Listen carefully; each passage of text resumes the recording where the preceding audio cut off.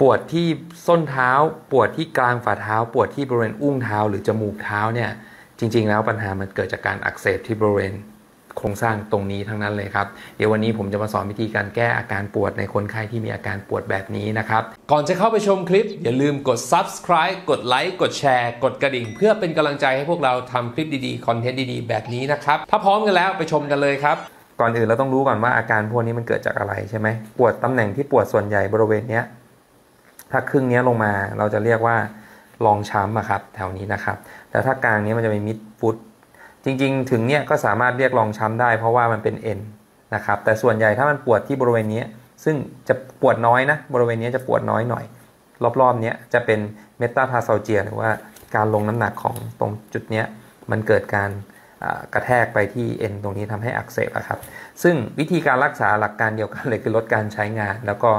ลดการอักเสบของเขา แล้วก็พอมันดีขึ้นเราก็ไปออกกำลังกายให้มันหาย ดังนั้นจริงมันไม่มีการที่จะต้องไปฉีดยาเข้าจุดหรือว่าการผ่าตรงนี้เลยนะครับ ดังนั้นจะเป็นการทำกายภาพบำบัดการดูแลตัวเองเท่านั้นเองนะทีนี้แล้วเราจะจัดการกับอาการพวกนี้แบบไหนนะง่ายๆก็คือถ้ามันปวดช่วงแรก 1-2 วันแรกลดการใช้งานแล้วก็ใช้น้ำแข็ง ผมไม่ได้เอาน้ำแข็งมา สมมุติว่าเป็นก้อนน้ำแข็งนะก็ถูไปเบาๆประมาณนี้ แค่นี้แล้วก็พยายามอย่าเดินเยอะ ถ้าเดินเยอะเนี่ยมันจะยิ่งทำให้ไอ้พวกนี้ไม่หายแล้วมันจะอักเสบซ้ำๆในทุกวันถูกไหมเวลาเราเดินเยอะๆนะเดินแบบนี้เอ็นตรงนี้ถูกยืดแล้วก็ฉีกขาดใช่ไหมครับ แล้วการที่ตรงนี้มันกดลงไปทุกวันทุกวัน ตรงนี้ก็จะทำให้อักเสบมากขึ้น ดังนั้นถ้าคุณเดินเยอะทุกวัน แล้วน้ำหนักตัวก็เยอะด้วยอย่างเงี้ย ก็จะทำให้มีการบาดเจ็บ แล้วยิ่งถ้าเผื่อเราถอดรองเท้าเดินนะนะ ถอดรองเท้าเดินใช่ไหมเท้าเปล่า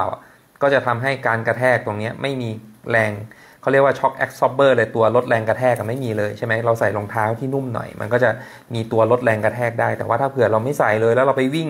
เดินเร็วอะนะก็จะวิ่งกระแทกกระแทกตรงนี้เจ็บแน่นอน แล้วตรงนี้จะถูกยืดออกและฉีกขาดแน่นอน ส้นเท้าถ้ามันมีหินปูนเกิดขึ้นตรงนี้ ก็จะทำให้เกิดการบาดเจ็บซ้ำๆได้แน่นอนนะครับ ดังนั้นถ้ามันเป็นแบบนี้ในช่วงแรกเราลดการใช้งาน แต่พอมันเริ่มดีขึ้น เราจะจัดการกับอาการพวกนี้โดยทำให้มันมีการหมุนเวียนของเลือดมากขึ้น แล้วก็ทำให้มีการหมุนเวียนของของเสีย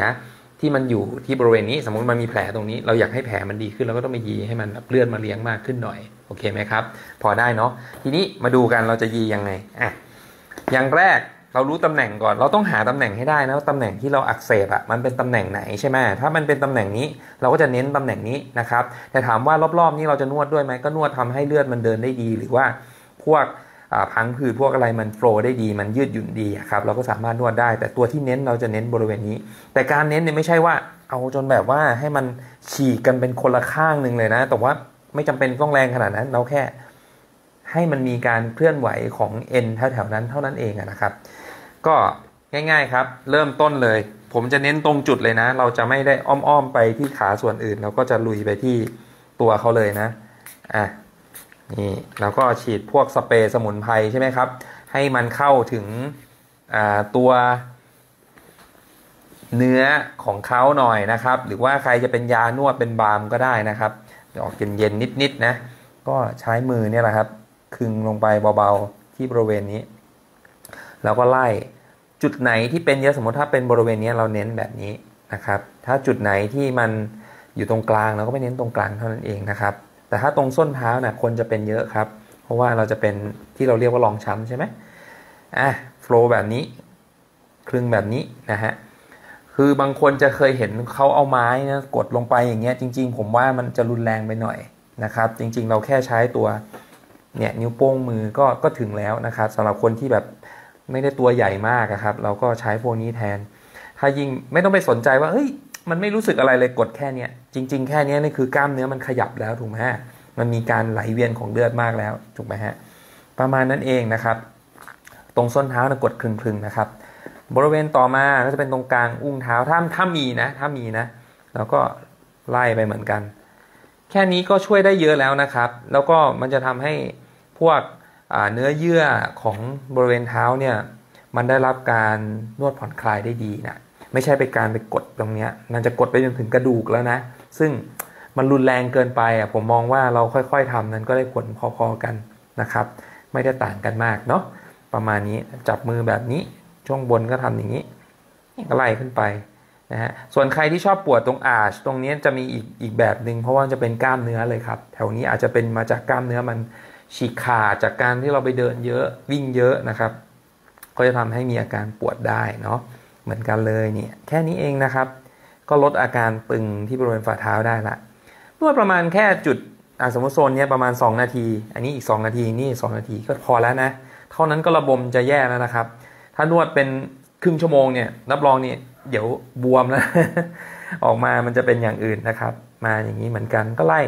จุดไหนที่เราเจอเป็นมีจุดกดเจ็บสมมติว่าจุดนี้มันเจ็บแล้วก็คลึงเยอะหน่อย แล้วก็ขยับมานิดเดียวแล้วก็คลึงรอบๆ แค่นั้นเองนะครับ เท่านี้นะครับ ในช่วงสัปดาห์แรกเราก็จะลดการใช้งานเป็นหลักเนาะผ่านสักสัปดาห์หนึ่งหรือสัก 3 วันน่ะถ้าอาการปวดมันไม่ค่อยมีแล้ว เราอยากจะลองการนวดอะได้ แต่ในช่วงวันแรก ๆ ผมแนะนำอย่าเพิ่งไปนวด ถ้าไปนวดมันจะระบม แนะนำเป็นพ่นพวกสเปรย์พวกนี้ไปก่อน เพราะว่ามันช่วยทำให้อาการมันดีขึ้นได้เหมือนกัน แล้วก็ประคบน้ำเย็นก็พอนะครับ ช่วงแรก ๆ นะ เอาแค่นี้แหละ หรือถ้าอยากนวดจริง ๆ ถ้าชอบนวดมากก็เบาๆ แค่นี้เองนะ ดูจับที่ผิวเนี่ยเห็นไหมเหมือนเหมือนทาครีมอะอย่างเงี้ยได้ แต่ไม่ต้องกดไปอย่างนี้นะครับ แต่ว่าถ้าเกิดเป็นมาเป็นอาทิตย์แล้วอยากจะกดให้มันแรงให้มันลึกขึ้นก็ได้เหมือนกัน อย่างที่คลินิกกายภาพ หลายๆคลินิกเขาก็จะมีเครื่อง shock wave ใช่ไหมหลายๆคนน่าจะรู้จักถ้าเคยไปใช้บริการก็จะมี shock waveช็อคเวฟยิงปักปักปักปักเข้าไป เราจะไปจัดการถึงกระดูกเลยนะจริงๆยิงถึงกระดูกเลยนะ ซึ่ง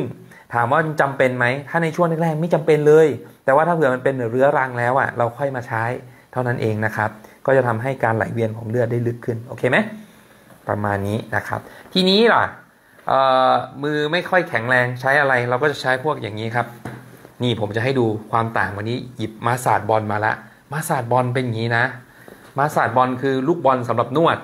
แต่ถ้าเป็นลูกเทนนิสก็สามารถประยุกต์ใช้ได้แต่ทีนี้ดูเนี่ยดูเทนนิสไหมกดแล้วยุบเลยนะมาสาดบอลกดไม่ยุบเลยครับนิ้วผมจะหักแทนแล้วนี่เราจะมาใช้ยังไงก็ใช้อย่างนี้ครับ ให้ดู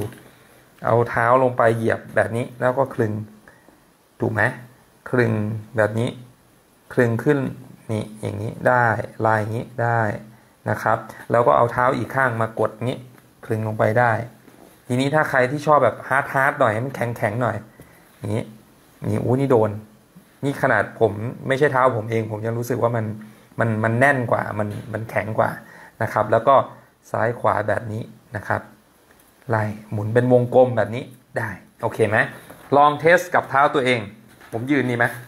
หรือจะให้อะดูนะ อย่างนี้ เนี่ยมันก็คึงแบบนี้ โอเคไหมครับ นี่ช่วยได้เยอะเลยนะครับ แล้วก็ไม่ต้องไปใช้มือนวดเลยสบายนะ ใครสนใจก็ลองไปหาดูมาสาดบอลนะครับ ดีนะ ผมใช้อยู่ โอเคแล้วลองใช้แบบนี้เดี๋ยวผมทดสอบฟิลลิ่งอันนี้ก็สำหรับคนชอบแบบเบาๆก็ก็ดีเหมือนกันอีกแบบหนึ่งนะราคาต่างกันแน่นอนครับไอ้ลูกนี้มันไม่กี่บาทนะไอ้ลูกนี้ก็จะราคาสูงหน่อยเพราะว่าวัสดุมันแตกต่างกันเนาะก็แล้วแต่ กำลังทรัพย์แล้วก็แล้วแต่ความชอบนะครับ เลือกเอานะมีทั่วไปเลยโอ้ยระบมแล้วเท่านี้ ประมาณนี้นะโอ้ยตกหมดล้วเนี่ยลองใช้ดูแค่นั้นเอง แค่เนี้ย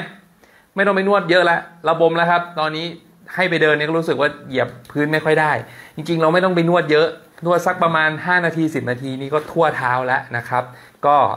จบด้วยการจริง ๆอะอยากจะสอนนวดตรงนี้เดี๋ยวไว้มาสอนนะ คือตรงน่องเนี่ยจริง ๆ ต้องนวดด้วย เพราะว่าอะไรเพราะถ้าน่องตึงนะ ตรงฝ่าเท้ามันก็กดลงดังนั้น เราต้องคลายตรงน่องด้วยนะครับ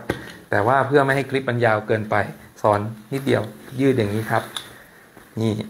ยืดน่อง ยืดน่อง แบบนี้ หรือจะยืนยืดก็ได้ ถูกไหมถ้ายืดแบบนักกีฬาอ่าง่าย ๆ คือถ้าเราดูแลตัวเองได้ไม่มีปัญหาอยู่แล้ว ลองช้ำเป็นโรคที่แบบว่า จริงๆ ถ้าดูแลตัวเองดีๆ แป๊บเดียวก็หายครับ อาทิตย์สองอาทิตย์นะ ที่สำคัญอีกอันหนึ่งคือ การลดน้ำหนัก น้ำหนักตัวเยอะเป็นตัวหนึ่งที่ทำให้เกิดรองช้ำอะดูอย่างนี้นะครับ ยืดขาแบบท่ายืนใช่ไหมเหยียดขาไปข้างหลัง ไปข้างหน้าแล้วก็โน้มตัวลงเห็นไหมฮะ ตัวนี้ก็ตึงที่บริเวณน่องแล้วเท่านี้เองพอละ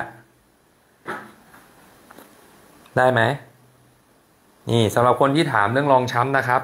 แบบนี้เลยนะครับ ก็อยากจะขอขอบคุณทุกท่านที่ติดตามพวกเราอย่างเสมอมานะครับสำหรับท่านใดที่สนใจคอนเทนต์ดีๆ มีสาระใช้ในการดูแลตัวเองในชีวิตประจำวันแบบนี้ท่านสามารถติดตามพวกเราได้ในทุกแพลตฟอร์มนะครับ ไม่ว่าจะเป็น Facebook Fanpage หรือทาง TikTok นะครับ โดยพิมพ์ชื่อว่าบัณฑิตกายภาพ ส่วน YouTube Channel ท่านสามารถพิมพ์ค้นหาในชื่อว่าบัณฑิตกายภาพบัตรและจัดกระดูกนะครับ ส่วนท่านที่ใช้ Line นะครับ ก็สามารถจะติดตามพวกเราได้ทาง Line Woom นะครับ โดยพิมพ์หาคำว่าแอดบัณฑิตฟิสิโอนะครับสำหรับวันนี้ขอลาแต่เพียงเท่านี้ แล้วพบกันใหม่คลิปหน้า สวัสดีครับ